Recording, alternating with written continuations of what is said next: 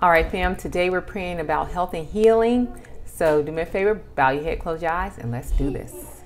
Father, in the name of Jesus, we confess your word concerning healing. As we do this, we believe and say your word will not return to you void, but will accomplish what it says it will.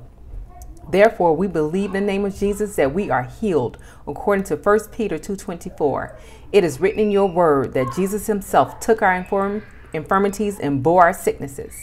Therefore, with great boldness and confidence, we say on the authority that is written of that written word that we are redeemed from the curse of sickness and we refuse to tolerate its symptoms. Satan, we speak to you in the name of Jesus and say that your principalities, powers, your spirits who rule the present darkness, and your spiritual wickedness in heavenly places are bound from operating against us in any way.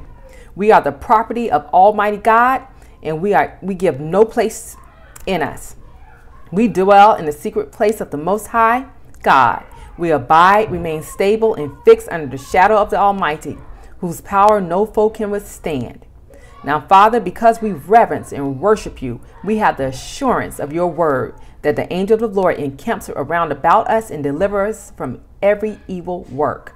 No evil shall befall us, no plague or calamity shall come near our dwelling. We confess the word of God abides in us and delivers to us perfect soundness of mind and wholeness in body and spirit from the deepest parts of our nature and our immortal spirit, even to the joints and marrow of our bones. That word is medication and life to our flesh.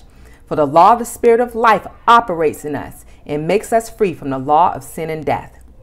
We have on the whole armor of God, and the shield of faith protects us from all the fiery darts of the darts of the wicked. Jesus is the high priest of our confession, and we hold fast to our confession of faith in your word. We stand immovable and fixed in full assurance that we have health and healing now. In the name of Jesus, amen, and so be it. Guys, do me a favor, like, subscribe, comment, and share. And I will see you in the next video. Have a blessed week. Bye.